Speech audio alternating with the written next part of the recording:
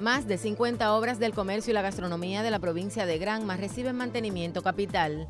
En todos los municipios, brigadas de trabajadores por cuenta propia del sistema del comercio, el Fondo de Bienes Culturales y otras entidades asumen las reparaciones de restaurantes, cafeterías, bodegas, mercados y unidades que a lo largo de los años se deterioraron considerablemente. Hay un nivel de, de obra muy importante en todos los territorios que fundamentalmente pasa por el tema centro de elaboración que es la base de cualquier gastronomía para poder eh, mantener los abastecimientos mucho más estables y eh, remozando un nivel de, unidades muy importante.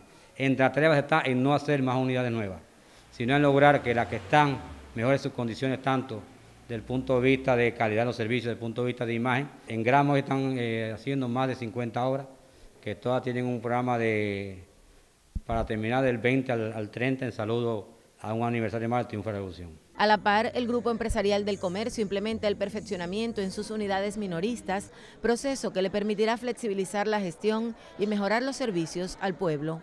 Grama se encuentra hoy en la primera fase de perfeccionamiento.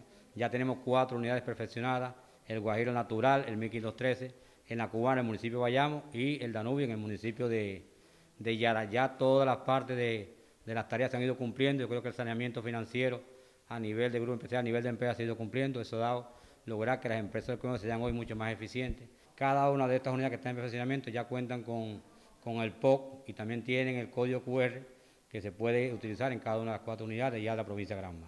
El programa de mantenimiento devuelve la vida a las unidades gastronómicas de Granma, distinguida años atrás por la calidad, la belleza y los precios de sus unidades. Desde Granma, Lisette Márquez, Sistema Informativo de la Televisión Cubana.